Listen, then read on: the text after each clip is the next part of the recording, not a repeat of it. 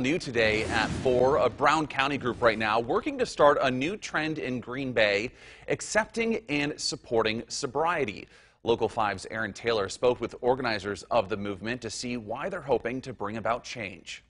For years now, Green Bay has been included on a list of the drunkest cities in America. The top five are always in Wisconsin, and Green Bay has been in the, in the top five since the stats started taking place. That consistent top five placement is based upon staggering statistics. Green Bay has 28% of uh, its population is binge drinkers, so that's almost one in three. Those numbers, John says, come as a consequence of drinking being woven into Wisconsin's culture. We have our Friday night fish fries, we have our Saturday supper clubs.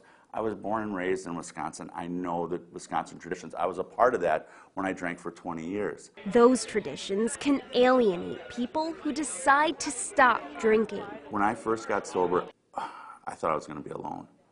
I thought that I wouldn't be able to go to my fun social events. I didn't think I'd be able to go to a Packer game. To help combat those fears, the Sober Green Bay campaign is stickering the city. They get a balloon sticker that they can stick outside their door to let people know that this is a sober friendly place. In the coming weeks and months, they're hoping to put up many more of these little yellow balloons all over Green Bay to let those who choose to be sober know that they're not alone. We want to meet with agencies, we'd like to meet with businesses, we want to meet with restaurants, we even want to meet with bars. The balloons indicate a sober friendly environment, meaning the establishment is supportive of sobriety.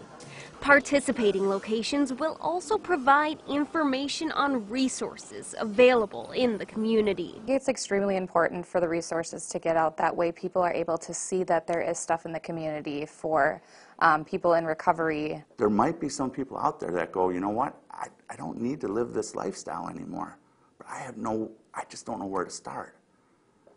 This is the campaign that we want to bring to them. In Green Bay, Erinn Taylor, Local 5 News. All right, so to learn more about the Sober Green Bay campaign, you can head over to our website at wearegreenbay.com. Just click on the local news tab.